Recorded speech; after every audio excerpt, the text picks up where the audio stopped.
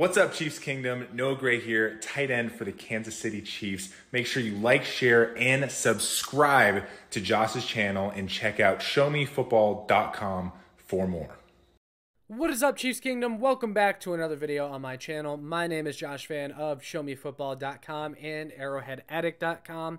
And I'm a little late to the party on this, but yesterday the Kansas City Chiefs signed New York Giants, now former New York Giants wide receiver Richie James to a one year deal.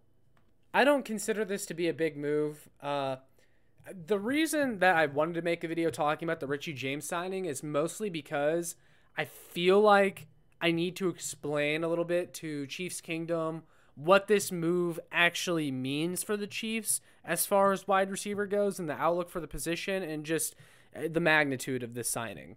But first, let's talk a little bit about Richie James. So, Richie James had a breakout season for the New York Giants this past season where he had 57 catches for 569 yards and four touchdowns. James was a seventh round pick by the San Francisco 49ers in the 2018 draft, and over his career, James has 95 catches for 1,258 yards and just seven total touchdowns. He was never really that big of a factor until this year for the Giants, where again he had his breakout season. Pretty solid year, just under 600 yards and four touchdowns. You know, he proved to be a solid player in that New York pass catching room. Additionally, James is someone that can return kicks and punts, and he has since he's entered the league for both the 49ers and the Giants. And that's uh, an important aspect of this move is the Chiefs needed someone to be kind of bottom of the wide receiver depth chart that could handle more responsibility being the main returner. Because Skyy Moore was kind of a disaster as a returner last year as a rookie. And we do think that he is going to take on a bigger role in 2023. And if that's going to be the case, then it seems the Chiefs would maybe take him off of doing returns for right now. And then there's Isaiah Pacheco, too, who was the Chiefs' main kick returner. We think he's going to be running back one next year, and if that's the case, then you probably don't want him returning kicks. So Richie James could step in and be a contributor on special teams. But I wanted to talk about this move a little bit more because Chiefs fans are trying to dissect this. You know, what does this mean? Is this our big wide receiver move? You know, what does the signing of Richie James mean? I think a lot of Chiefs fans are desperate for us to address wide receiver and I get that, and I also am concerned about wide receiver because we just don't have a lot there right now. Uh, and Chiefs fans would like a veteran option if we were going to get a veteran that, you know, can maybe compete to be our wide receiver one. And Richie James isn't going to be that. But a lot of fans are kind of concerned because they're like, is this our big free agent move at wide receiver? You know, Richie James, who is this? And Richie James is going to come in here, and he's basically your Justin Watson replacement. He's wide receiver five. He's going to be battling for one of the last wide receiver spots, but he's probably an upgrade over what you might have had at wide receiver five or wide receiver six. That the Chiefs keep six wide receivers, um, that that's what Richie James does. He's someone that you know, was asked to do a lot for the Giants this past year. Um, Kenny Golladay didn't work out for them. They traded Kadarius Toney. They had Sterling Shepard get hurt, and Richie James was a guy that emerged as Giants wide receivers started to go down.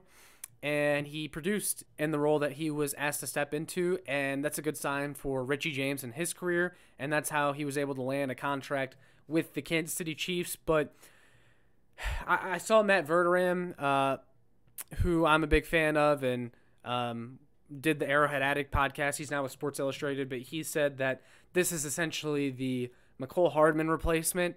That's not what I see it as because Mecole Hardman is someone that had a bigger role than Richie James when he was here, at least in my opinion. I think Richie James is more of your Justin Watson replacement. He can come in, make some surprisingly good plays. He's going to pop up out of nowhere and make a clutch play for the Chiefs. He's going to be one of your bottom wide receivers, but he's a bottom wide receiver that can actually play a little bit, unlike most other you know bottom four or five receivers on other teams that are mostly just there for their special teams. And don't get me wrong, Richie James is here for his special teams, but he's someone that I think has earned a little bit more respect than that. He he can play a little bit, and he has really good speed too. That's another thing about him. That's what makes him a good punt and kick returner because he's a speedy guy. So I like the signing of Richie James. He's not going to be expected to take on this big role, but if the opportunity presents itself for Richie James and something happens, uh, you like what he can do a little bit, and he can come in and help in an emergency. Like if MVS got hurt or Toney got hurt, um, which isn't out of the realm of possibility, especially for Toney, uh, Richie James could at least give you something there.